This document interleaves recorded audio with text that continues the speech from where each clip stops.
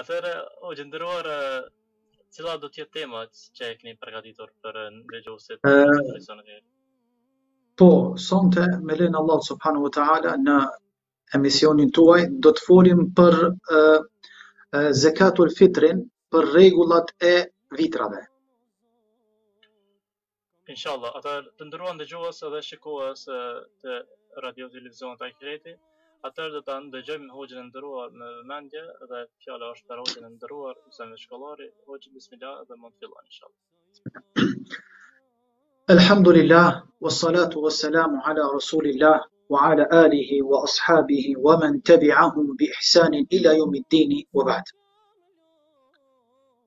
Si çdoherë e falënderojmë Allahun tebareke ve teala, salavatet, përshëndetjet ia dërgojmë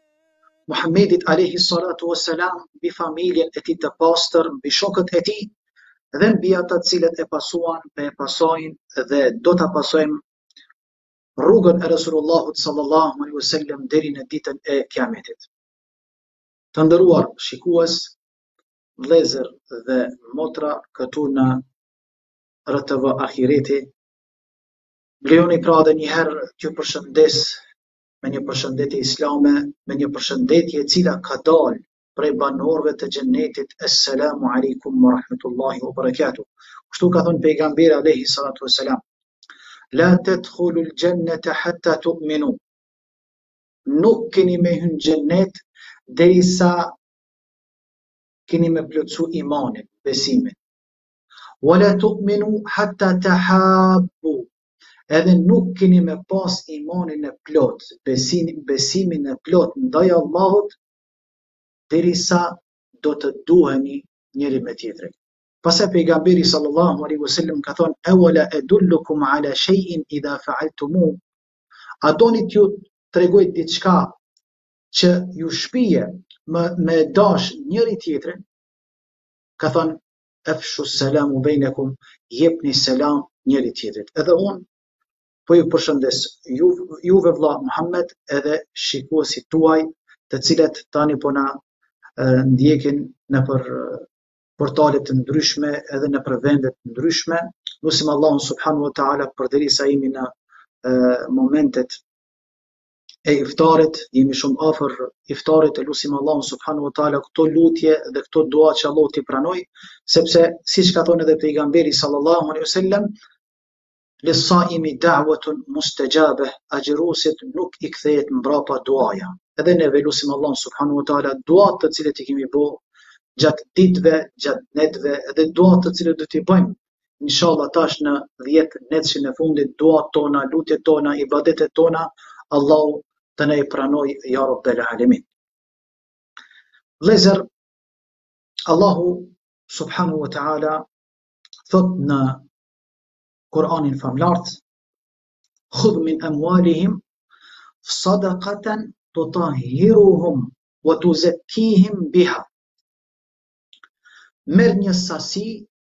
prej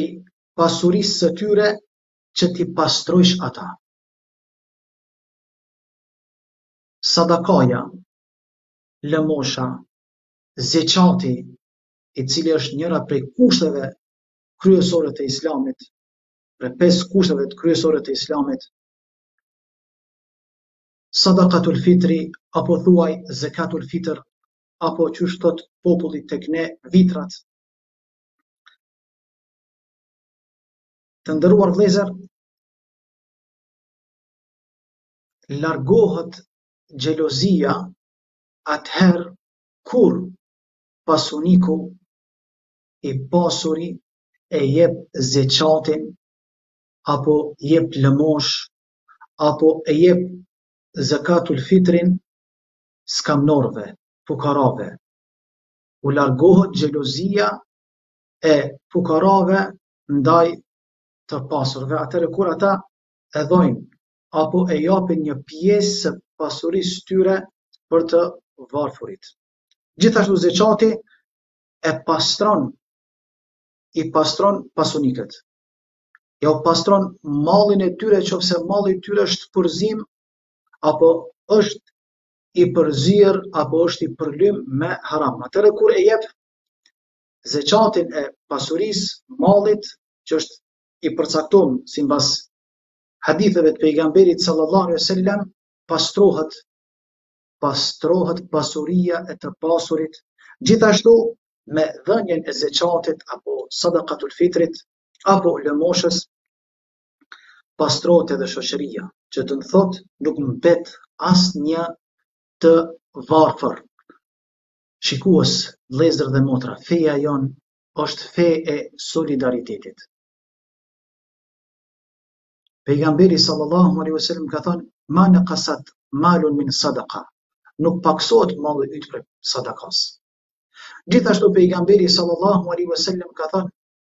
nuk është prej radhëve të muslimanëve,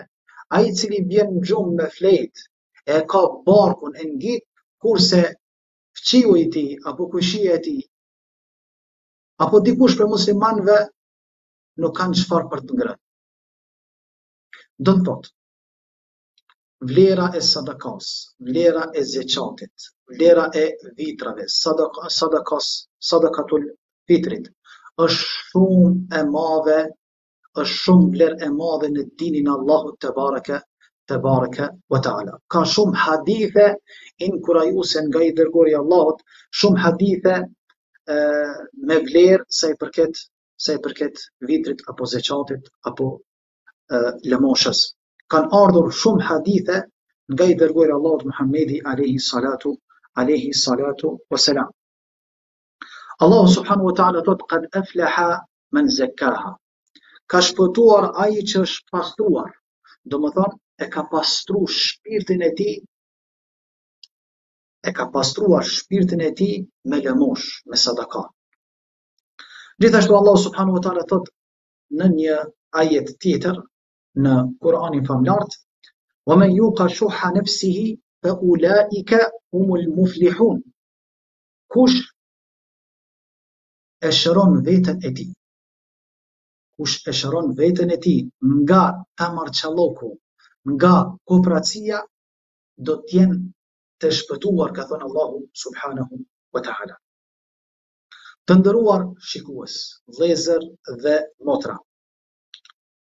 Në këtë emision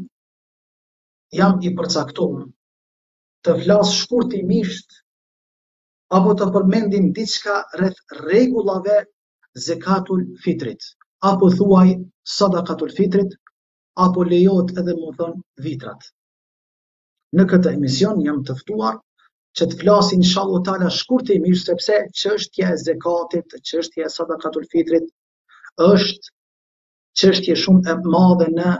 legjislacionin islam, në sheriatin e Allahut subhanu wa taala edhe minutazhën që e kam përpara nuk muj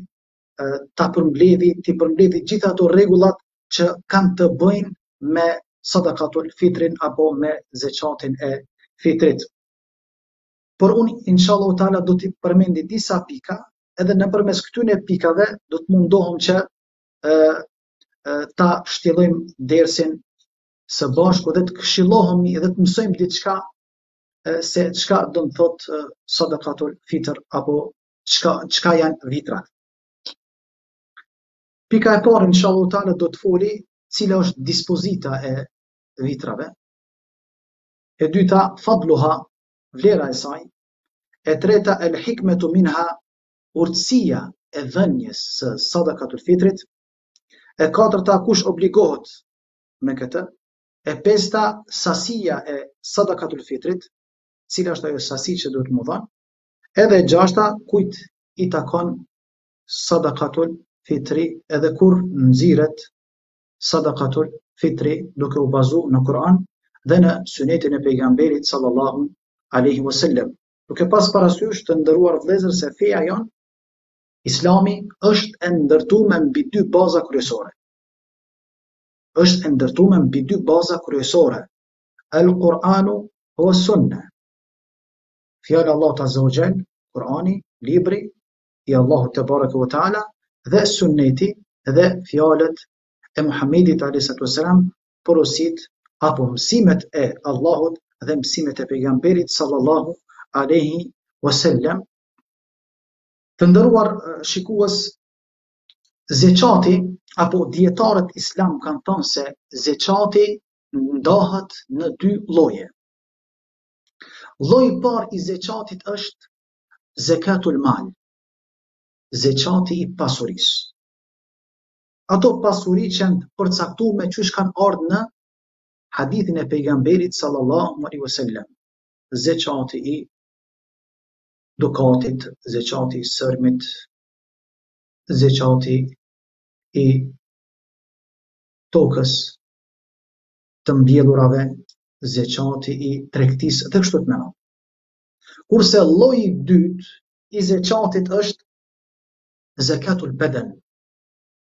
Zekatul beden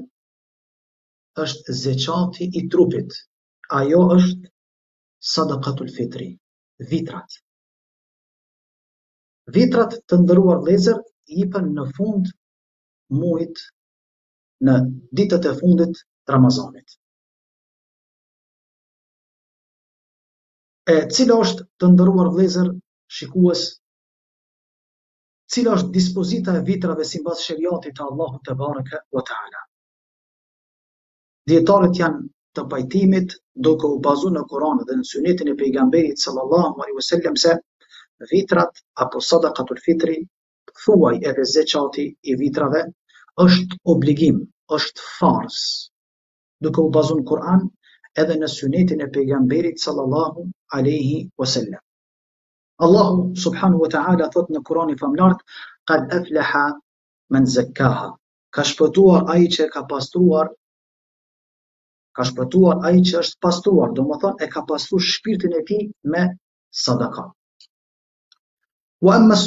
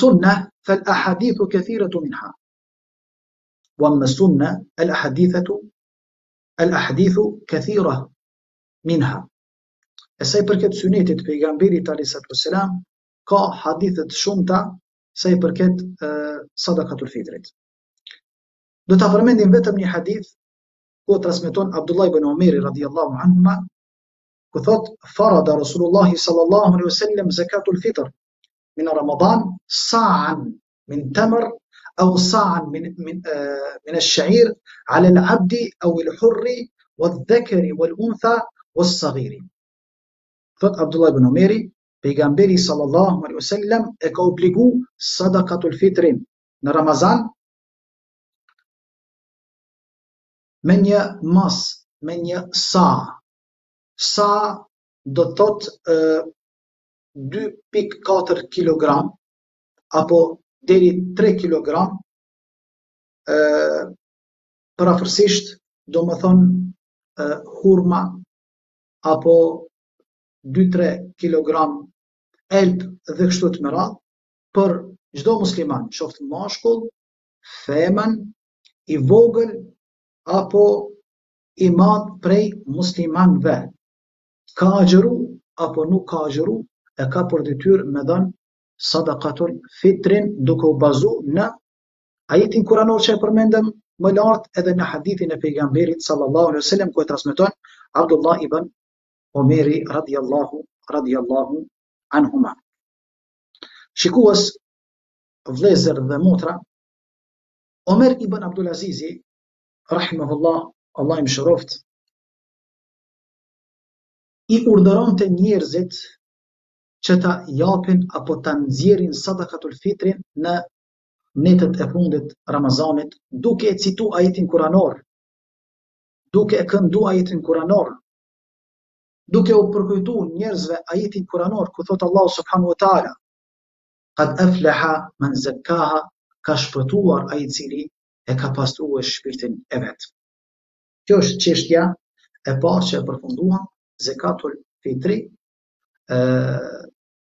dispozita e saj është farz duke u bazuar në Kur'an edhe në sunetin e pejgamberit sallallahu alaihi wasallam. Tani do të dalim në çështjen e dytë. Cila është vlera e dhënies vitrave dhe urtësia e saj? Sadaqatul fitri, të nderuar vëllezër, shikues, sadaqatul fitri është pastrim i agjëruesit sikurse është istigfari që është pastrim i mëkateve dhe gjynaheve. Të parët tanë, selefët kanë thënë se sadakatul fitri është pastrim për agjëruesin. Ashtu sikur sikurse istigfari, kërkim i faljes nga Allahu subhanahu wa taala që është pastrim i mëkateve dhe gjynaheve.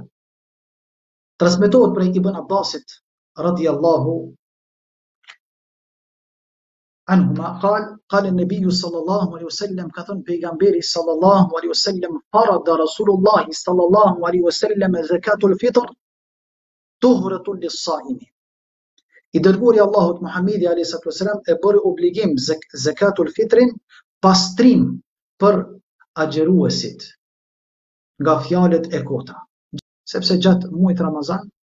mundet njeriu me pas ndonjë lëshim, ndonjë dobësim apo ndonjë fjalë jo të mirë që ka dalë nga goja e tij, që nuk është e pëlqyer të del nga gjuha e agjëruesit, ku thamë se Abdullah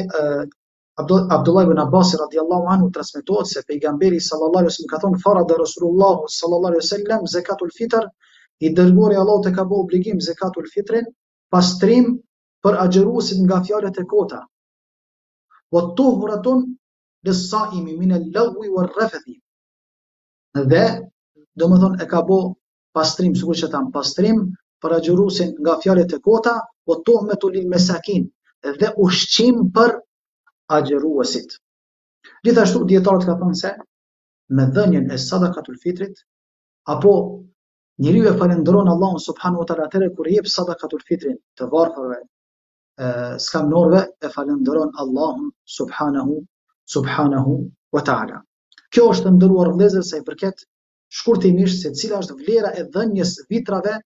dhe cila është urtësia e saj. Urtësia e dhënies sadakatul fitrit është tuhratun lis-saim, pastrim për agjëruesin, kështu ka thënë pejgamberi sallallahu alaihi wasallam nga fjalët e kota, nga fjalët që ndoshta kanë dalë domethënë ë jo me dijen nga gjuha e agjëruesit, sepse Allahu subhanahu wa taala dëshiron nga robi i tij që jo vetëm barku i tij të agjërojë, por të agjërojnë edhe gjymtyrët e tërë trupit të tij. Gjithashtu, gjithashtu të nderuar vëllezër sikur që e cekëm, e, urtësia e, e dhënies sadakatul fitrit është shukran lillahi ala itmami sijam, me falënderu Allahun subhanahu wa taala që Allahu ta ka mundësu me çu këtë obligim në vend, ta ka mundësu me agjëru mujin Ramazanit edhe kur e jep këtë, këtë sadakat këtë vitër fukarave me falënderu Allahun do të jetë falënderim i Zotit për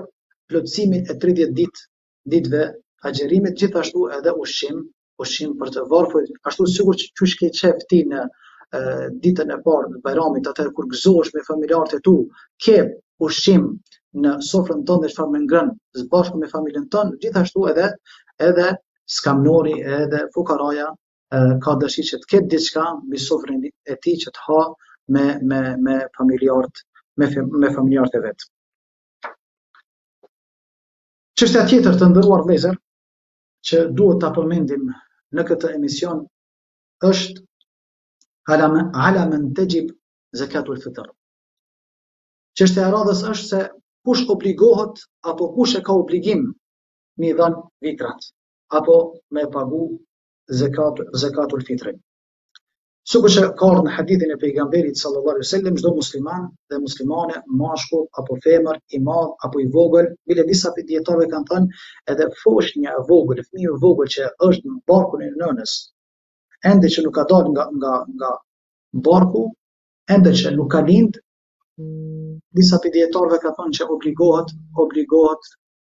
obligohet domethënë dhënia, obligohet dhënia e sadakatul fitrit edhe për foshnjën në barkun e nënës së, së saj, apo në barkun e nënës, domethënë, e cila pritet për me, për me lindë. Ala men texhibu zekatul fitër, domethënë, çdo musliman i cili posedon ushqim, për një natë edhe për një ditë, kush posedon ushqim për një natë edhe për një ditë obligohet me dhënë sadakatul fitrin skamnorëve, kështu dijetarët islam kanë sugjeru dhe na kanë tregu dhe na kanë mësu se qoftë se dikush ka ushqim për një natë edhe për një ditë, ka çfarë me ngrënë për një për një natë edhe për një ditë, obligohet që ai me dhënë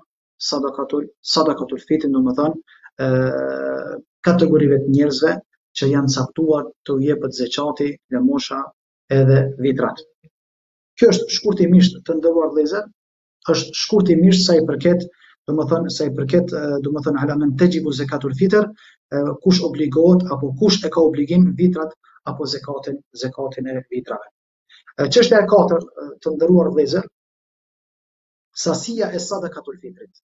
Cila është sasia sasia e sadakatul fitrit apo e vitrave? Sikur që përmendëm në hadithin e pejgamberit më herët të, të hadithi Abdullah ibn Umerit radhiyallahu anhuma se pejgamberi sallallahu alaihi wasallam ka thënë sa'an min tamr. Sa'an është diku 2 kg e gjys apo 4 apo 3 kg hurma apo elb. në këtë në këtë masë. Por një thënie shumë që më pëlqen nga Ibn Qayyim rahimahullah, i cili thotë se e vërteta e kësaj çështje thot është sa i përket sasisë, t'i afrosh të varfërit atë që ia mbulon nevojën në ditën e Bajramit. Harx, ushqim, që të varfërit në ditën e Bajramit me ia mbulu, domethënë nevojën që ka ai. Ashtu ka ardhur në hadithin e pejgamberit sallallahu alaihi wasallam ku thot pejgamberi alaihi wasallam mbuloni kërkesat e të varfërve në ditën e Bajramit. Kjo është ajo sasia, domethënë sikurse është e ditun te populli jonë, këtu në Gjermani është diku në 10 euro, domethënë për person, përgjegjësia është mbi pronorin e familjes, domethënë, zoti i shpisë, ai jep, domethënë, sadakatul fitrin për person, është vet i katërti, vet i pesti, vet i gjashti, për person, 10 euro, kurse për në Kosovë, po më duket se është 2 euro e gjys, apo 3 euro e gjys, apo deri 5 euro, po kush jep edhe më shumë, më shumë, kjo, domethënë, pa dyshim se shpërblimin do ta merr te Allahu, do ta merr te Allahu, subhanahu, subhanahu wa taala. Edhe çështja e fundit edhe me këtë po duam me përfundu, të nderuar shikues vëllezër, edhe pse zekatul fitri është një një çështje, një meselë shumë e madhe në në fikun islam, por domethënë Allahu këtë na ka mundësu që në mesin e juve sonte në këtë emision si musafir i ftum në mesin tuaj në këtë radio televizion Ahireti të mundomi, u mundom sado pak e shumë të sqarojmë çështjen e sadakatul fitrit, duke i cek disa pika kryesore, sepse siç ka thonë edhe pejgamberi a.s. talibul ilmi faridatun ala kulli muslim eu mu'min eu kema xhae fil hadith, kërkimi i dituris është obligim për çdo musliman. Do me thonë, tash, përderisa kemi hy edhe në prej, prej sontit, inshallah, prej nesërmen, nesërmen, po hymë në dhjetë ditëshin e fundit, përpos ibadeteve, përpos punëve të mira, përpos leximit të Kuranit, sepse duhet të përpiqemi që ta nxojmë natën e kadrit, edhe gjithashtu duhet t'i kushtojmë rëndësi dhe vëmendje zekatul fitrit, zekatul fitrit apo vitrave, t'i pyesim hoxhallarët, t'u drejtohem dyerve të hoxhallarëve, xhamive të hoxhallarëve t'i pyesim se si duhet si si duhet me dhën zekatul fitrin edhe kujna i takon edhe qysh jipet zekatul fitri, me marr informacione sepse kemi obligim obligim fetar për me i dit çështjet elementare sikur që është namazi, zeqati, agjerimi, shkuarja në Qabe, gjërat elementare të fesë, të nderuar shikues, vëllezër dhe motra, kemi obligim me i mësu. Edhe pasi që t'i mësojmë, duhet t'ia mësojmë edhe të tjerëve. Edhe çështja e fundit që na ka na kanë bërë obligim e, me ju tregu apo me ju përkujtu është kujt i takon të jepet zekatul fitri. Është e ngjashme pothuajse me zeqatin. Domethënë, zekatul fitri ashtu sikur që e, e,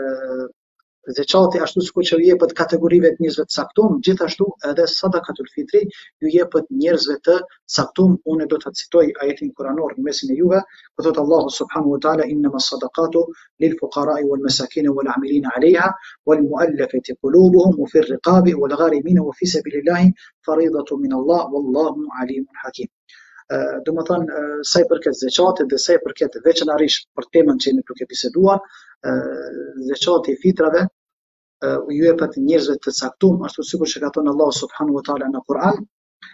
sadakaja jepet të varfërve, nevojtarve, punonjësve, atyre që duan përfitu zemrat, të dobtëve në besim, e do të dhenë lirim nga robëria, të mbyturve në borç, luftëtarve, Kjo është farzi Allahut subhanahu subhanahu wa taala, Allah është i butë dhe e di çdo mirësi tuaj ju që e bëni. Po gjithashtu lejohet që sadakatul fitri, çka thonë edhe pejgamberi alejhi salatu wes-selam, sadakaja më e mirë është atëherë kur i ofron edhe familjes tonde, domethënë edhe motrës lejohet me ja dhon, edhe vëllaut lejohet me ja dhon, edhe të afërmve lejohet me ja dhon për familjarëve, përpos prindërve, babës edhe nonës, sepse ti babën edhe nonën ke për obligim me e me mirëmbajt sepse është me e kshyr, sepse është baba jot dhe nona jote, prindët e tu, e ke për obligim me i kshyr, kurse, domethënë, sadakan mundesh me shpërnda aty ku është e ku është nevoja, ku është nevoja më së tepërmi ta dërgon tek skamnori tek fukaraja dhe lus Allahun subhanu, subhanehu wa ta'ala që edhe nëpërmes e sadakasë, edhe në nëpërmes sadakasë apo dhënies sadakatul fitrit, lusim Allahun xhelle xhelaluhu që edhe agjerimin tonë Allah ta ngrit në qiell ja rabbel alamin. Unë lus Allahun subhanahu wa taala aty ku ja qellova ishte nga e, nga Allahu subhanahu wa taala,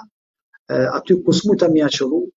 ishte nga mospërgatitja ime ose nga shejtani, lusim Allahun subhanu wa ta'ala që Zoti xhelle xhelaluhu ibadetet tona, lutjet tona si për mu dhe si për juve dhe lusim Allahun subhanu wa ta'ala që në këto dhjetë netëshin e fundit Allahu të na mundësojë të gjithve neve juve që të arrijmë dhe ta nxojmë natën e kadrit që shpërblimi i saj është më shumë se ni mijë muaj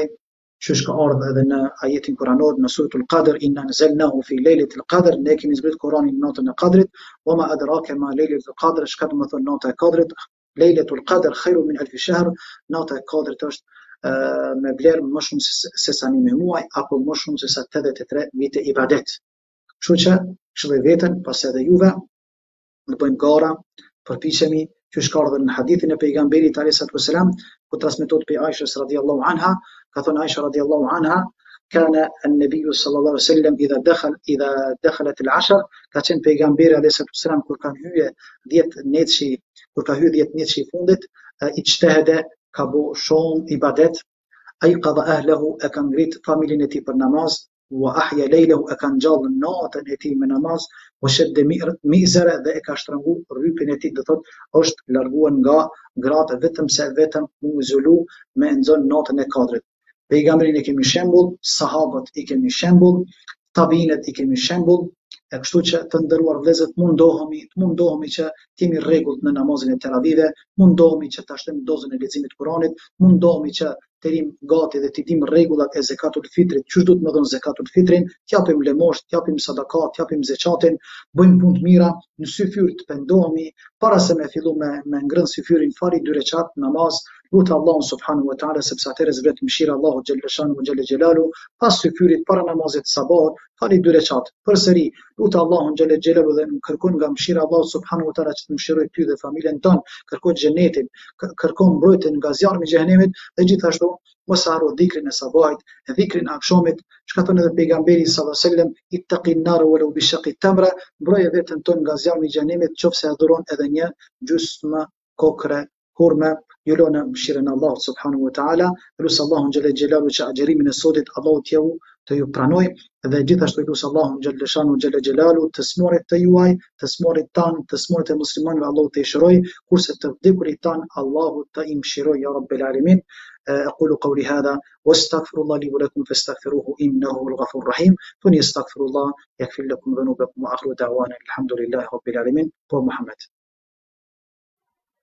Allahu të shpërbleftë hoxhë i nderuar për këtë ligjëratë. Lus Allahun azze ue xhel që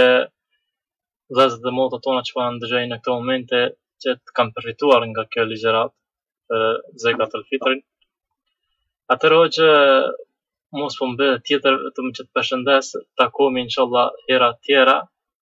këtu në Radio Televizionin A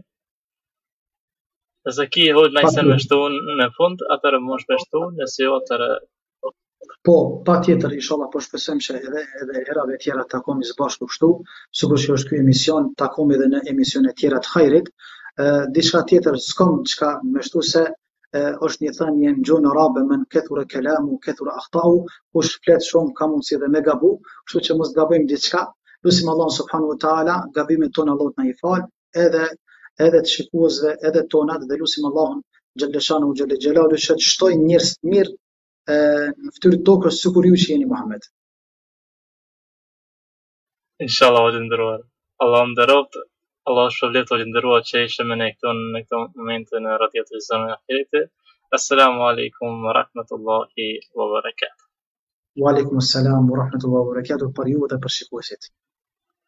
Amin, hoxhë i nderuar. Ë të nderuar dëgjues dhe shikues të Radio Televizionit Ahireti. Allahu e shpërbleftë hoxhën e nderuar Islam Veçkollari ku ishte me ne këto në këto momente këtu në Radio Televizion Ahireti. Të nderuar dëgjues dhe shikues të Radio Televizionit Ahireti, këtu do të qëndrojmë së bashku këtu në Radio Televizion Ahireti deri në kohën e iftarit në Kosovë. Atëherë të nderuar dëgjues,